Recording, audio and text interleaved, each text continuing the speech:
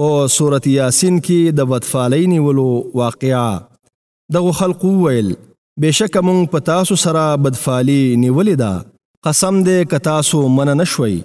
نو مونږ به خامخا ضرور تاسو سنگسار کړو او زمونږ له جانبه به تاسو ته خامخا ضرور ډیر دردونکي عذاب درورسیږي دغه پیغمبران وویل ستاسو بدفالي هم تاسو سره ده آیا نو که تاسو ته فن درکړی شي نو تاسو دغه ته بدفعلی وایي بلکې تاسو له حده تیریدونکي قوم یئ